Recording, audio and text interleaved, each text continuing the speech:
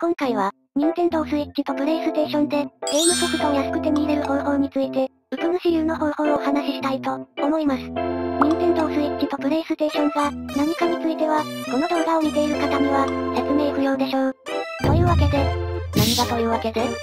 こでは、国内の販売台数だけお話しします。任天堂スイッチの2021年5月20日、以前の国内販売台数は、1984万8012台。5の2021年5月20日時点の国内販売台数は726462台です。では、本題に入って、ゲームソフトを安く手に入れる方法についてです。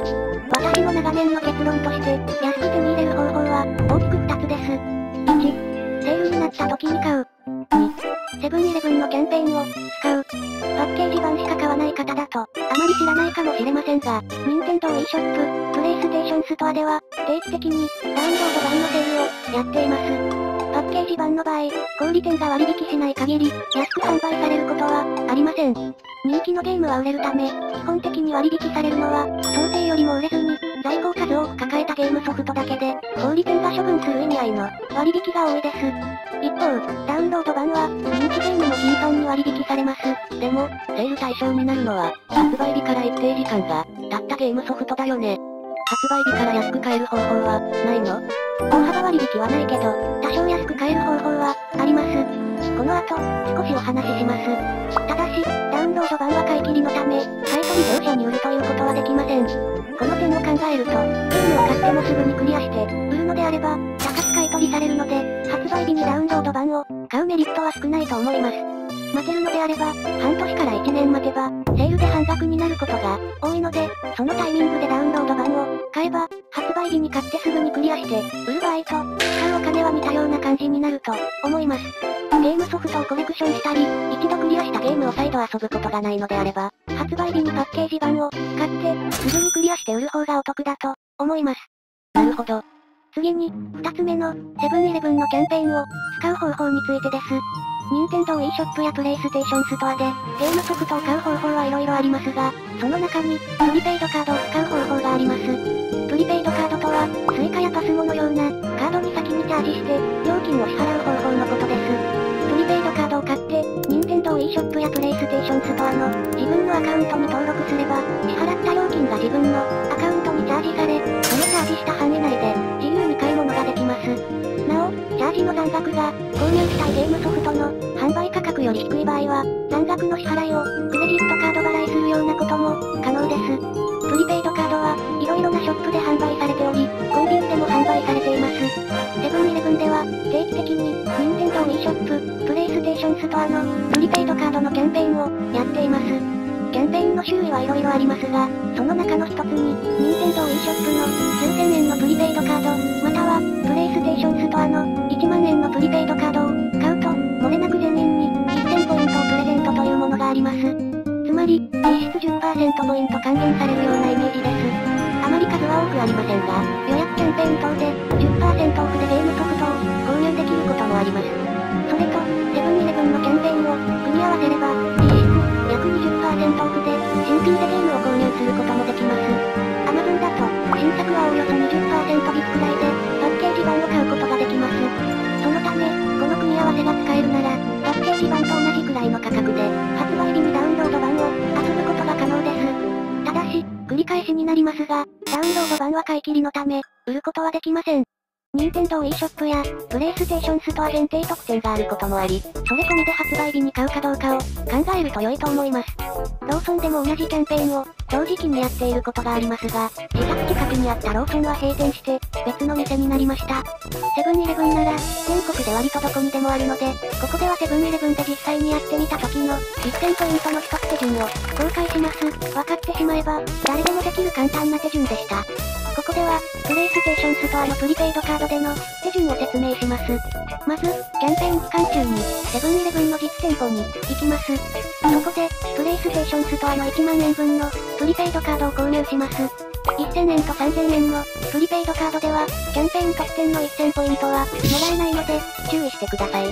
プリペイドカードを購入したら、キャンペーン特典を取得するための、手続きを行います。セブンイレブンのキャンペーンページに、アクセスし、メールアドレスとパスワードを、設定して、マイページを作成します。マイページを作成すると、登録したメールアドレス宛てに、本人確認のための URL が、記載されたメールが届くので、その URL に接続して、マイページ登録を完了します。以前は、マイページ登録不要でも、1000ポイントがもらえたのですが、現在はマイページ登録必須になったようです。次に、キャンペーンサイトに先ほど登録した、マイページ用の ID と、パスワードを入力して、アクセスします。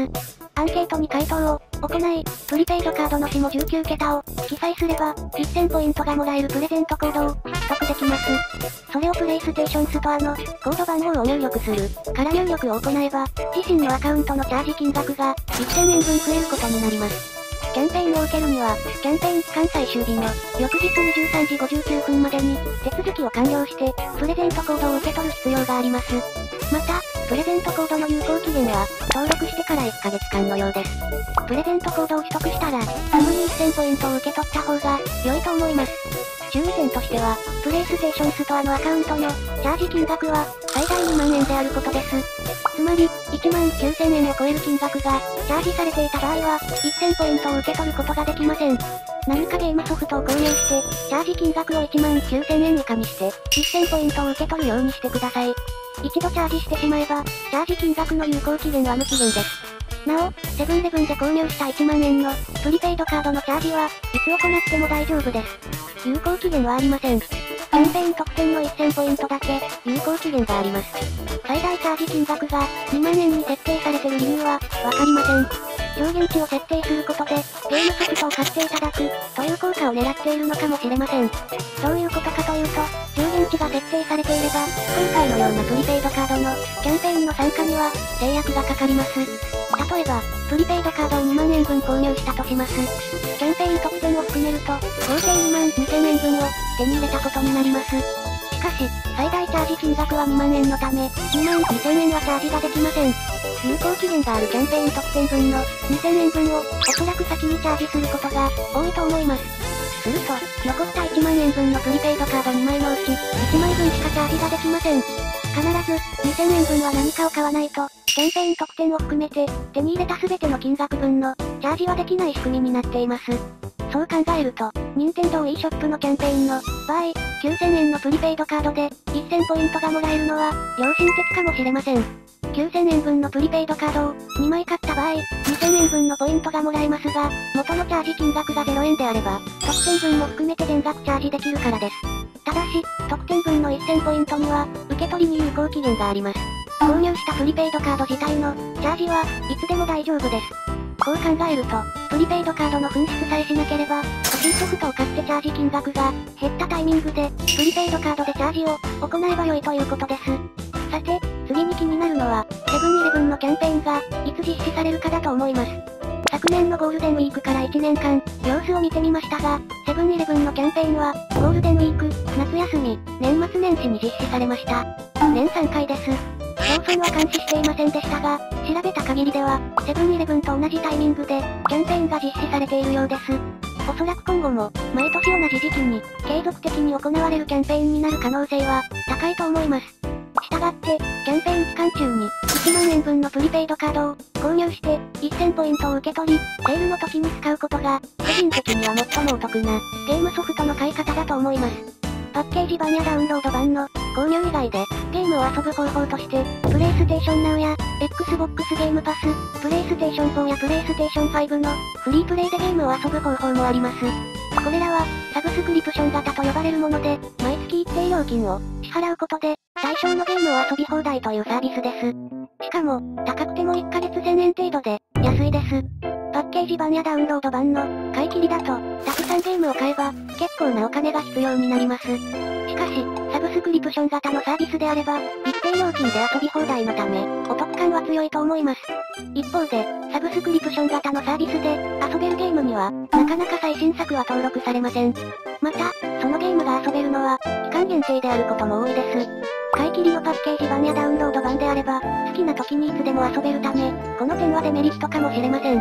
しかし、最新作はなかなか遊べないものの、たくさんのゲームを毎月低料金で遊べるのは、十分メリットになると見て、良いと思います。買い切りだと、いつでも遊べるという心理が、働き、積みゲーを増やす要因にもなります。遊べる期限があると、遊べなくなる前に、ゲームをしなきゃ、という心理が、働いて、積みゲーが減るというメリットもあります。それでゲームして楽しいかどうかは、人による気もするけどね。自分のペースで遊べないし。パッケージ版、ダウンロード版、サブスクリプション型のサービスと、ゲームを遊ぶ方法はいろいろあります。個人的には、セブンイレブンとダウンロード版セールの、組み合わせが一番良いかなと、思います。ダウンロード版は、ゲームソフトの保管場所が、不要というメリットがあるので、たくさん買う人の場合、狭い住宅事情でも、安心です。今後のゲームソフトの買い方の、選択肢として、いかがでしょうか？それでは、ご視聴ありがとうございました。